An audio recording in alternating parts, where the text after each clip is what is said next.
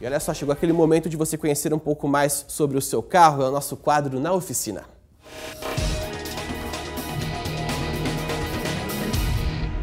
Soltou e aí, pessoal, tudo bem? Chegou a hora de dar aquela atenção especial para o seu carro, né? O Na Oficina tá começando para falar sobre a transmissão do veículo. Ficou difícil? Então vamos simplificar.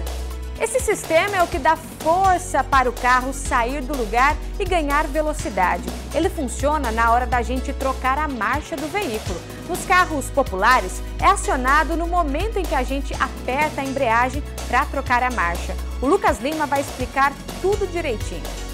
Hoje a transmissão mais conhecida e popular é a transmissão mecânica, que é feita através de engrenagens que são acopladas no eixo.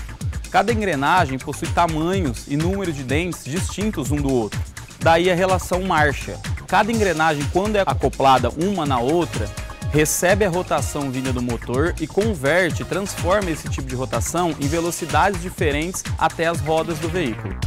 Mas existem variações desse sistema, viu? Uma delas é o câmbio automático, que funciona sem embreagem, e o automatizado. Os dois fazem parte dos modelos de carros mais sofisticados. De uma forma bem resumida, o câmbio automático faz as trocas de marcha através da pressão de óleo. O sistema de câmbio automatizado é um conjunto de câmbio mecânico acoplado a um conjunto mecatrônico que vai fazer as trocas de marchas para o motorista e vai perceber ali a rotação do motor tal e vai fazer a troca de marchas sem a intervenção do motorista. Você já sabe que o Na Oficina é bastante moderno, né? O nosso especialista vai explicar agora o que é tendência quando o assunto é transmissão. O nome do que é mais moderno hoje no mercado é o câmbio CVT. É uma transmissão variável contínua.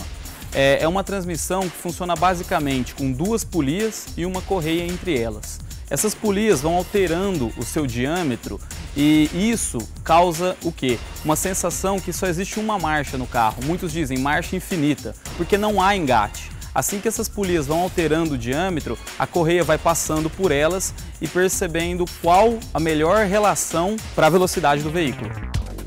Quando falamos em tanta sofisticação, é preciso ficar atento aos detalhes. É que os sistemas de transmissão automáticos e automatizados trabalham de maneira bastante silenciosa, bem diferente do que muitos motoristas estão acostumados na hora de trocar a marcha em carros populares. Então, caso ocorra algum problema, o aviso pode aparecer no painel do veículo. Qualquer tipo de avaria ou defeito no sistema vai ser avisado o condutor através do painel de instrumentos. Ou alguma luz de anomalia vai acender também no painel. Ou o computador de bordo ou a luz de anomalia vai acender e é necessário que o motorista evite andar com o veículo nessas condições. Leve logo num centro especializado. Vamos saber agora até quanto você pode gastar caso precise levar o carro na oficina. Um câmbio automático possui um elevado custo de manutenção, podendo partir de 5 mil reais, chegando a 9 até 10 mil reais para casos mais simples de câmbios automáticos. Já o câmbio automatizado, um serviço de troca de embreagem, por exemplo, pode estar girando na faixa de 2 mil reais. Só que se o problema for no conjunto mecatrônico, aí sobe, vai lá para 4, 5 mil reais.